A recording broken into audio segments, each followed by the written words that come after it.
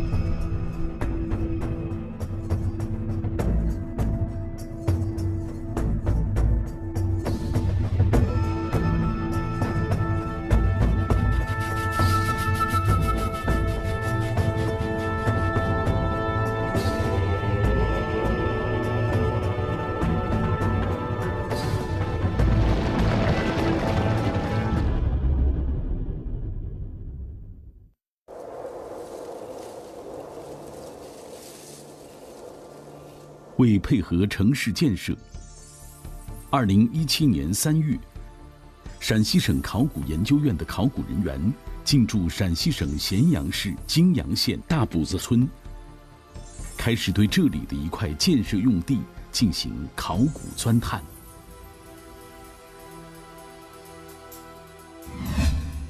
这是一处大型墓葬群。占地面积将近二十七万平方米，相当于三十八个足球场的大小。面对如此规模的墓葬群，考古领队邵晶深感压力巨大。第一时间把自己关在屋子里面，开始准备资料，开始好好想想到底该怎么做。因为这个项目占地面积太大了，而且根据以前我们的认知，知道这里的墓葬数量。将会特别的多。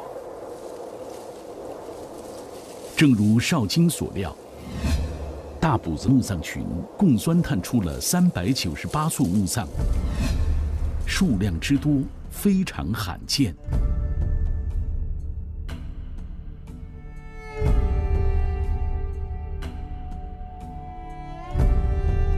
泾河是渭河的第一大支流。大补子墓葬群就位于泾河南岸台原。数千年来，泾河与渭河交汇处清浊分明的现象，一直是让人惊叹的自然奇观。泾渭分明的成语就出自这里。泾河旁的咸阳园是中国古代帝王理想的陵寝所在。西汉十一座皇帝陵墓有九座建在这里。大堡子墓葬群三百九十八座墓葬，至少三百九十八位墓主人，能和汉高祖刘邦、汉景帝刘启、汉武帝刘彻这些西汉的皇帝们在地下做邻居。也许他们身份并不普通。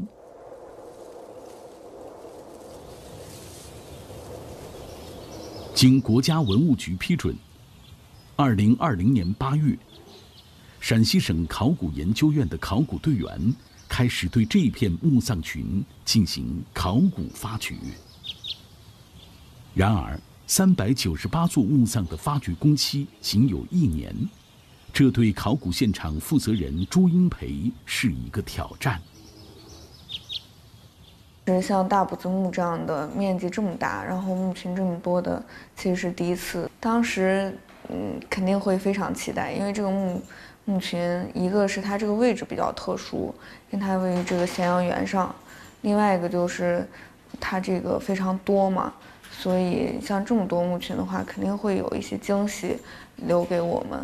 当然，另一方面的话，压力也挺大的。接到任务后，朱英培和考古队员们立即赶往现场，制定发掘计划。你这个大一点的，有这个小一点的。他们将面积近二十七万平方米的墓葬群分为南北两个大区、八个小区，分区域进行发掘。我们首先发掘了这个建设方最先要建设的这个区域。因为要配合他们的这个建设进度，另一方面是因为南区当时在勘探图上明显的勘探出来了几座围沟，所以我们当时是想把这些围沟弄清楚。这条宽约五十厘米、深约一百厘米的壕沟就是围沟，一般以家族或者代际为原则去设置，环围墓葬群。围沟既有护林的作用，也有排水的功能。古人也常以围沟为界，来区别死者和现世，以示生死有别。能设有围沟，说明大埔子墓葬群并不简单。探明围沟之后，考古队员将发掘重心集中在了墓葬上，发掘也加快了进度。然而，他们最担心的事情出现了：发现了盗洞。这些盗洞多为圆形，直径有五六十厘米。我们现在看到的大埔子的很多的墓葬，有的盗洞呢，可能就是近几年的，甚至我们有直接的证据，盗洞里面有近十年来的一些。方便面袋子呀，矿泉水瓶子、香烟盒子，所以这样的行为对这个墓地造成了非常非常严重的破坏。墓葬已被严重盗掘，这让考古人员极其心痛。但事情的发展并非一直让人悲观。清理工作持续一月后，考古队员惊讶地发现。这片墓葬群的数量远不止三百九十八座，因为在揭开表层泥土后，又出现了新的墓葬。嗯，我们现在所站的地方呢，其实是大埔子墓地的一部分。然后我们目前已经发掘的墓葬呢，有五百多座。五百多座墓葬，让考古人员压力倍增。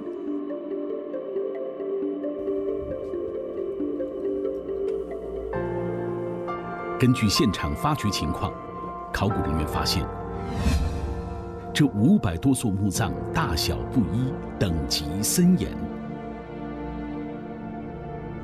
大型墓葬开口面积约有一百平方米，中型墓葬开口五六十平方米，而小型墓葬仅有四五平方米。墓葬呢，总体来说有两种形制，一种呢是这种树穴墓道土洞墓，另外一种呢是这个树穴墓道土坑墓。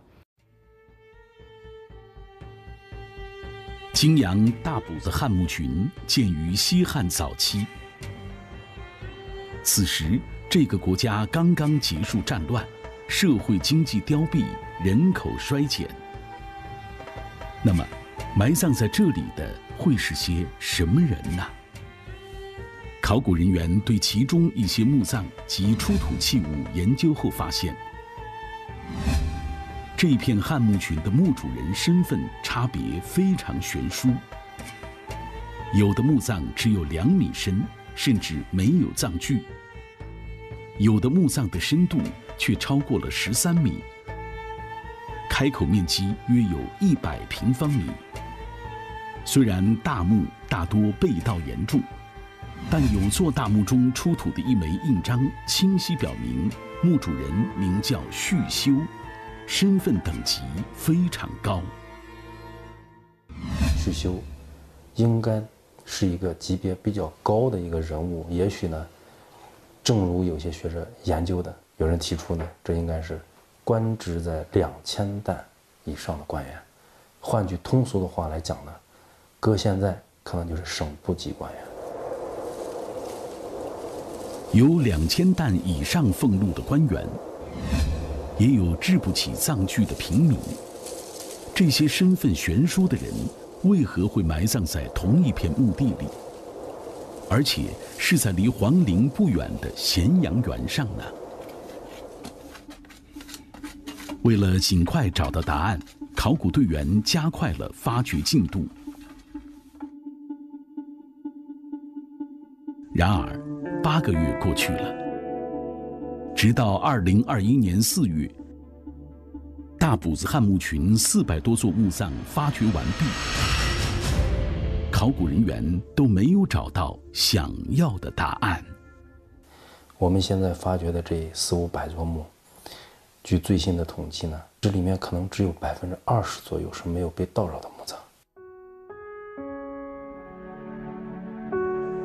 尽管早有心理准备，但盗掘的如此严重，依旧超出了所有人的预料。坏心情持续了八个月，剩下一百多座墓葬的考古发掘情况会不会好转？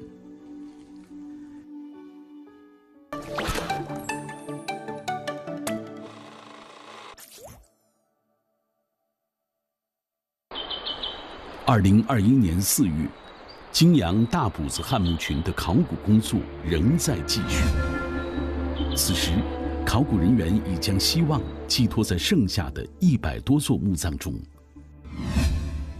按照顺序，北二区一座编号为 M 六十八的墓葬即将发掘。我们现在所在的就是 M 六十八号墓，在当时它的一个发掘情况，就是通过前期初步勘探。它是一个竖穴土洞式墓，墓道在南，墓室在北，然后深度是达到九米。通常墓道越深，说明墓主人等级越高。九米深的墓道，表明 M 六十八号墓主人身份不一般。那么，这座墓葬有没有被盗？考古人员关注着填土的变化，清理也变得小心翼翼。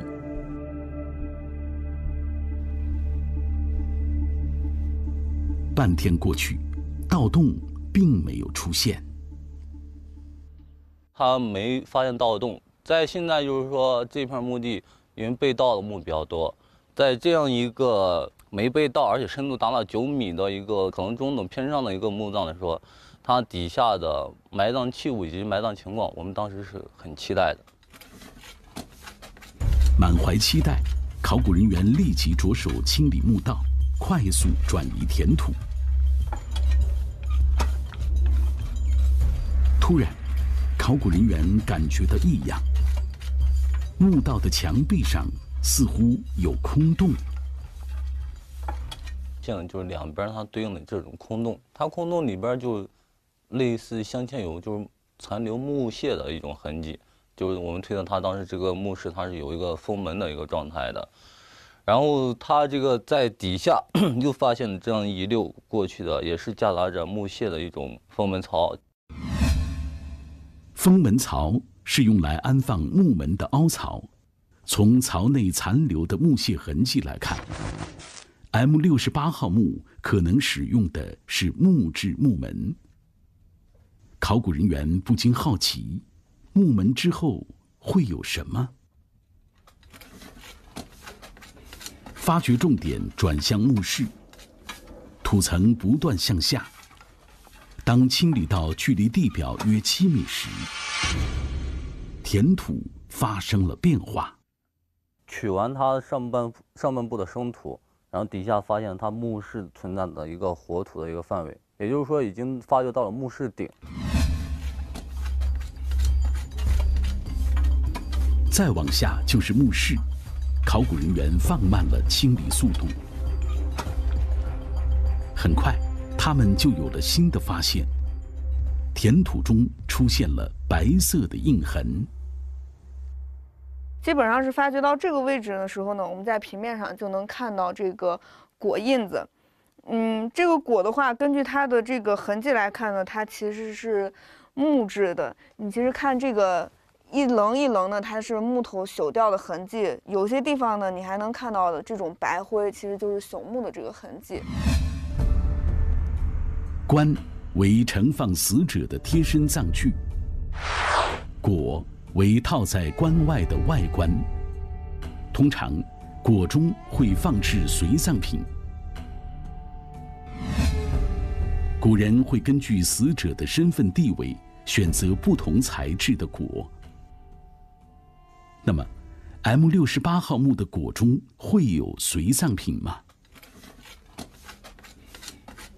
继续清理，很快，又一些白色印痕表明，棺出现了。目前的话，我们能看到一些残存的痕迹，棺的头是在这个位置，棺的尾呢，则是在往北的那一片儿。它的总长呢是两米七，宽的话是这头宽那头窄。我们根据朽痕来看呢，其实也是木棺，尤其在这个地方，你还能看到一些木质的朽痕。清理至此，棺椁都已出现，考古人员可以确定，M 六十八号不仅墓葬完整，而且墓主人有一定的身份级别。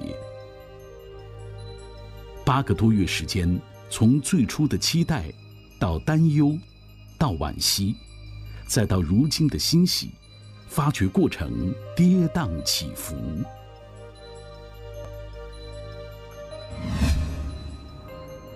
清理工作继续进行，很快，考古人员的手铲突然触碰到一个坚硬的器物。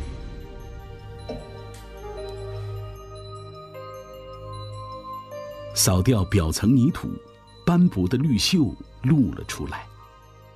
显然，这是铜氧化的结果。我们清掉墓室这一块的时候，就发现墓室的 M 六八第一件器物，一个圆形的一个口，发现它是有一个青铜器。这件圆形口沿的青铜器会是什么？竹签一点点清理着周边泥土，没多久，这件器物的轮廓就显露出来，然后就清出来这个墓室的第一件青铜壶。这件青铜壶体型较大，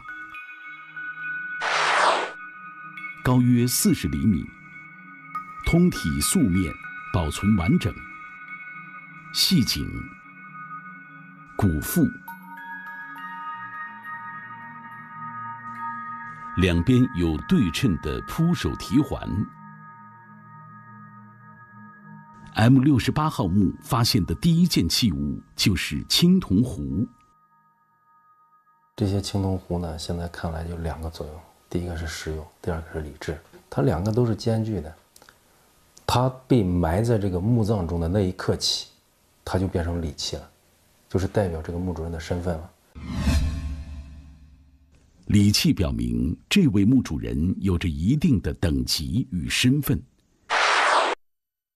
出于安全考虑，考古人员没有让这件青铜器在外过夜。把这个青铜器对它的原位进行一个拍照记录，然后把青铜器就先暂时的拿回队里的一个安全的一个地方。M 六十八号墓的墓主人是什么身份？这座未被盗掘的墓葬中还会有什么器物？考古人员充满期待。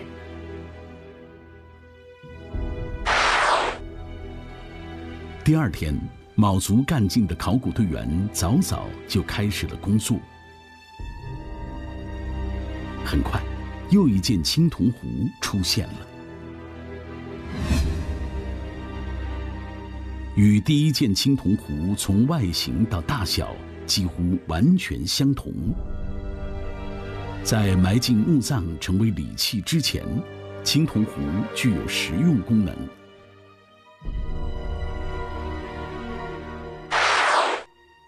古人常常用它盛酒或者盛水。我们虽然没有直接的结果，但是以前。呃，别的考古工地、别的遗址、别的墓葬出土的这些壶有一些检测，啊，一般情况下就是酒。二零一八年，陕西省西咸新区空港新城严村的一座秦人墓葬中，就曾出土过一件装有液体的青铜壶。考古人员推测，壶中残存的液体是酒。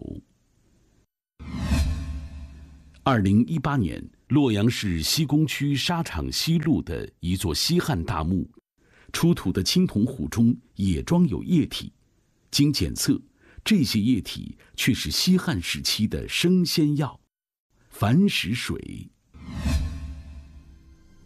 作为容器的青铜壶，无论装酒或者生鲜药，在两千多年后被发现，都不是寻常的事情。考古人员仔细观察，M 六十八号墓出土的两件青铜壶中，虽然没有液体，但却发现了淤土残留。那么，这两件青铜壶曾经用来盛放什么呢？因为出土的时候，我没有见到一些别的有机质的残留，比如说这个。啊，种子的一些粉末呀，一些残屑呀，我们都去送去检测了。是种子还是其他什么物质？答案要等待检测的结果。两件青铜壶的出现，说明 M 六十八号墓的墓主人非同一般。那么，接下来还会发现什么？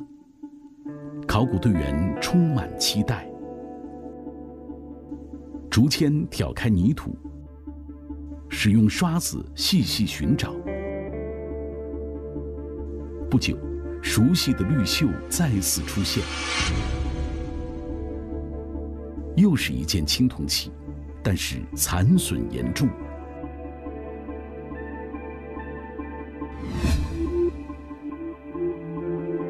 考古队员只能将这件青铜器整体提取，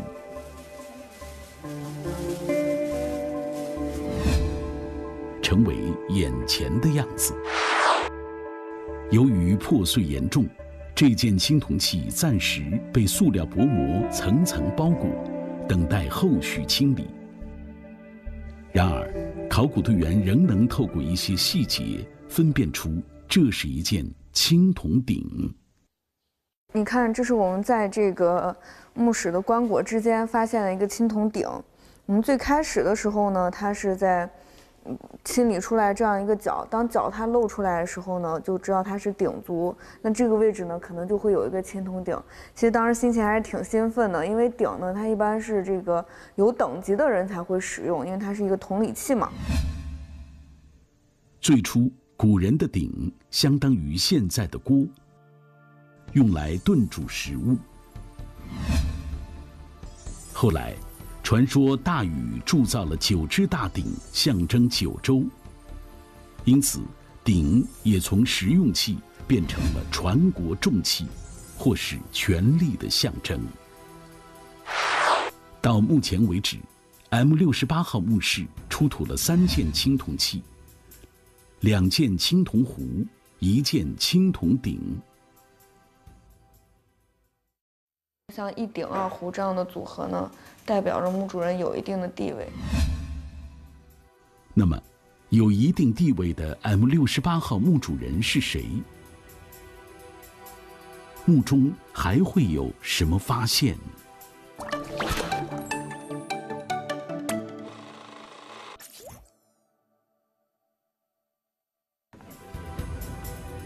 考古人员拿捏着手铲的力度，继续清理。填土中突然露出了灰白色，踢掉周边泥土，轮廓渐渐清晰。考古人员仔细观察，却是一张人脸。这一张人脸面部圆润，五官模糊，唯有红唇很醒目。考古人员继续清理，很快，彩色再次出现。它这个俑的衣襟部分它是带红彩的，然后它整体的身上的话，它是带那种白彩。考古人员推测，这可能是一个彩色陶俑。仔细清理完周边泥土后，陶俑完整的露了出来。它是头朝西的，然后是面朝南的一个侧倒的一个嗯姿态。然后在它刚开始的原位的时候，当时它应该是直立起来的。这件陶俑身穿三层白色深衣，领边红彩清晰。双手拢于袖中，置于腹部，恭敬站立。头发全部挽于脑后，头顶梳平，不见发髻。他应该是一名男性。男性，恭敬姿态，身上着彩。他是谁？墓主人为什么要将这件陶俑埋在这里？他身份应该就是这个墓主人生前的一个仆从。考古人员继续清理，很快，在南俑东侧约三厘米的地方，又一个陶俑出现了。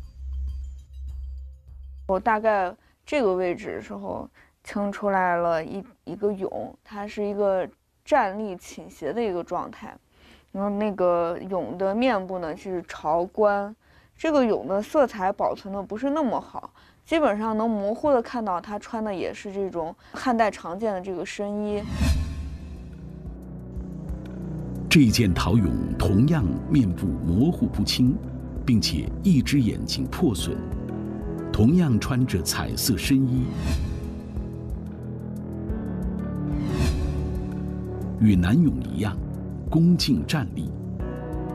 但不同的是，他头发紧束，发髻垂于背部，发髻外还露出了一缕发丝。俑的这个头部呢，发现他这个背部的头发呢是带有发髻的，所以。推测她其实是一个女俑，一件男俑，一件女俑。M 六十八号墓还会有更多的人俑吗？考古人员加快了对墓室的清理，手铲、竹签、刷子。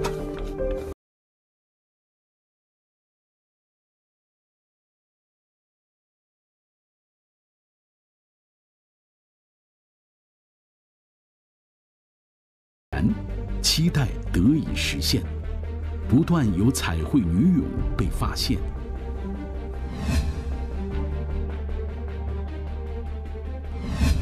在 M 六十八号墓中，一共出土了六件彩绘女俑。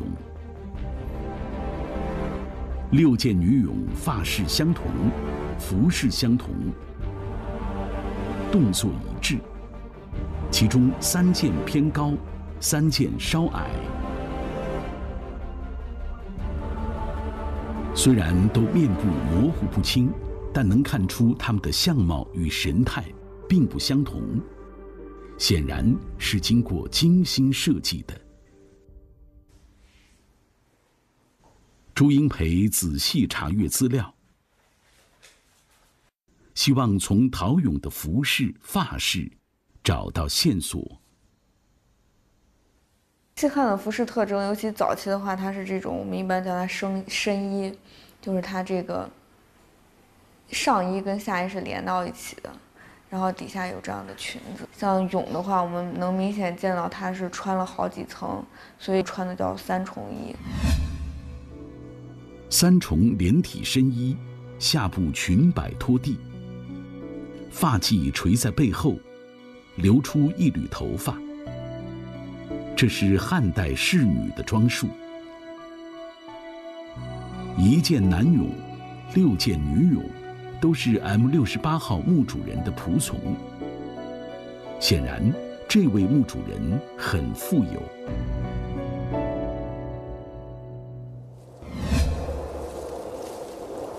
墓室清理才近一半，已经有了许多重要的发现。考古队员不禁猜想：还会有人俑出现吗？不出所料，又一件陶俑出现了。不过，姿态与之前的陶俑大不相同。大概在这个位置呢，发现了又一件女俑，它整个的面呢是朝着棺，然后整体保持了一个跽坐的状态，手呢是半遮面的这样的一个样子。所谓跽坐。就是两膝着地，小腿贴地，臀部坐在小腿及脚跟上。这件女俑虽不再站立，但与之前的女俑穿着同样的衣服，梳着同样的发饰。虽然面部模糊，但圆润的脸部仍能看见小小的眼睛。立着的眉毛，他双手高抬，半遮面部。但令人疑惑的是，这件祭座俑双手间留有一孔，这是用来做什么的呢？当时可能是放置什么东西的，但是因为现在的话，那个东西可能有机物已经被就是腐朽，现在看不到。孔中原本放着什么？疑惑还未解开，考古现场又传来好消息，又出现四件祭座女俑，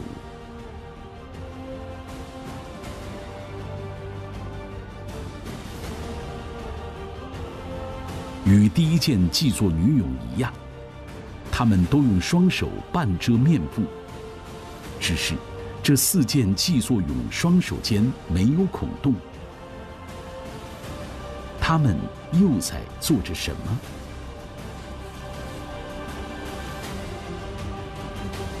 仔细观察这些女俑，一个细节引起了考古人员的注意：其中一件女俑的头部有锈迹，考古人员推测，这。应该是铁器生锈留下的痕迹。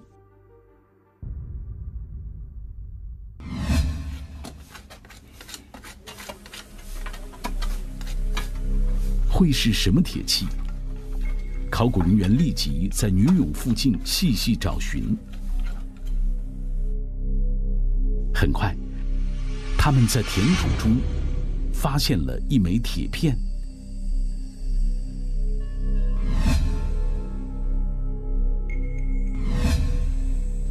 继续找寻，破碎的铁片接二连三地出现在眼前，里面还混着一些铁棒。铁棒、铁片、陶俑，它们之间会有联系吗？考古人员尝试着将一些铁棒进行拼接，竟然出乎意料地组成了一件器物。很像一个三角形的铁架，这又是什么呢？三角的一个铁的支架，然后通过这个的话，我们就联想去判断它应该是一件铁斧。斧就是古人的锅，三角形的铁架或许是一件支架。支架上或许曾有过一件铁斧。考古人员推测，那些铁片或许就是铁斧的残片，但由于破损严重，短时间内很难复原它的样子。M 六十八号墓室外围的清理接近尾声。到目前为止，这座墓葬共出土了两件青铜壶、一件青铜鼎、十二件陶俑、一件三角铁架，以及可能为斧的铁质碎片。墓主人为何会随葬这些器物呢？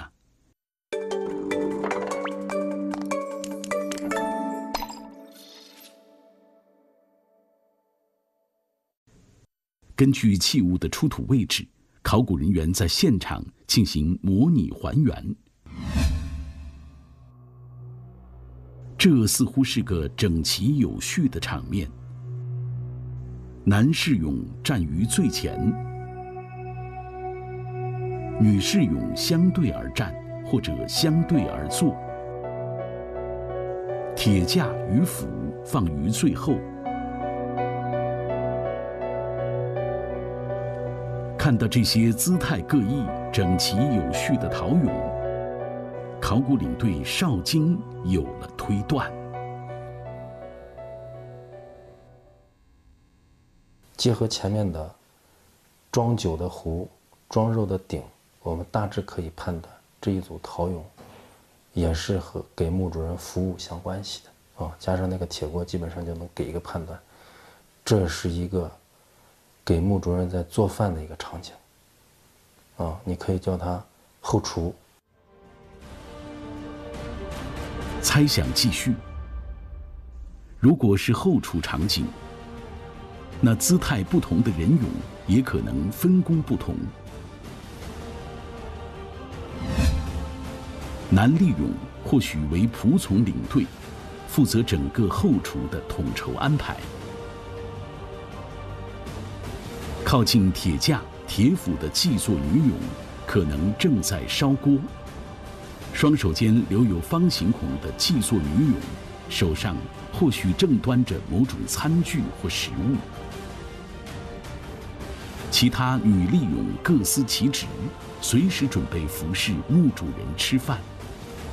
如此来看，姿态各异的陶俑似乎都有了合理的解释。分工不同，服从众多，墓主人仅后厨就有十二个陶俑，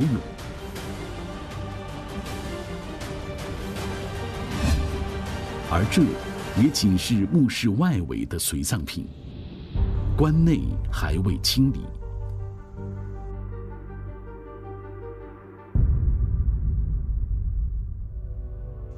天色将晚，回看泾阳大堡子五百多座汉墓，数量庞大却接连被盗，令人惋惜。然而，M 六十八号墓出现后又惊喜连连。象征身份等级的青铜壶与青铜鼎，以及彩绘陶俑组成的后厨场景。让我们看见一位两千多年前身份尊贵且富有的墓主人。他是谁？他的墓葬中还会有惊喜吗？考古发掘还在继续。